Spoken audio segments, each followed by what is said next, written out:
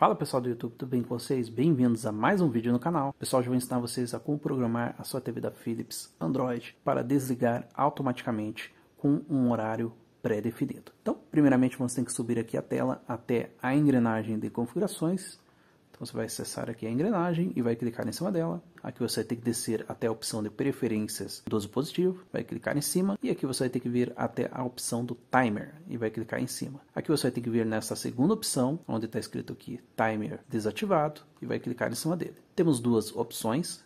Se você quiser configurar para que todo dia ela desligue automaticamente, você vai selecionar essa primeira opção ou somente uma vez, que daí vai ser a configuração que você fez no dia.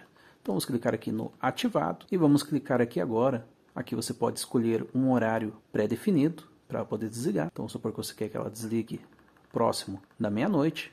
Então você pode selecionar aqui certinho. Vou colocar aqui então um horário próximo da meia-noite e vou clicar em cima e já está configurado agora para as 11 horas e 51 minutos da noite a sua TV desligar automaticamente. E aqui vai do seu gosto pessoal a sua configuração. E é isso pessoal, espero que vocês tenham gostado desse vídeo. Não se esqueçam de se inscrever no canal, ativar o sininho e deixar o seu like. Valeu, até o próximo vídeo.